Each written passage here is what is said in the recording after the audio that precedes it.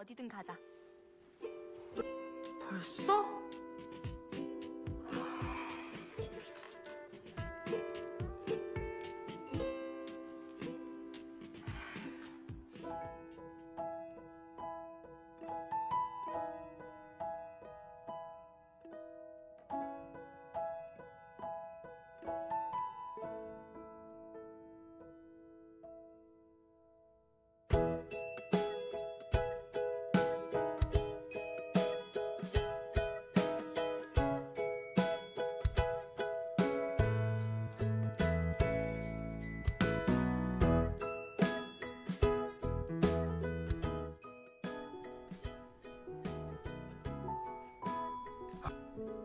뭐?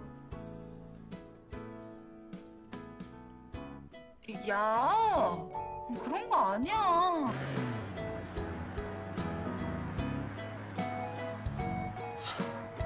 이거 술 한잔 같이 하네.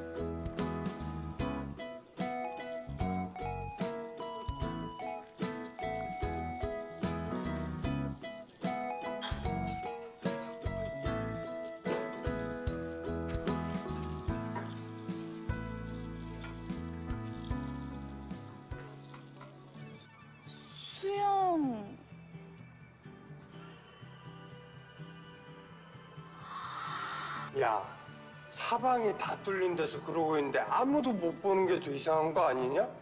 알았으면 얘기를 하지. 왜 말을 안 했어? 네가 먼저 말해주길 기다렸다. 뭔가 분위기도 엉키다 보니까 얘기를 못했어. 한 번 타이밍 놓치고 나니까 다시 얘기 꺼내는 게 좀 쑥스럽더라고. 그때 처음 봤다고 니네 집에서 처음 본게 아니라. 제 알바 안내라는 말 거짓말 아니야. 그냥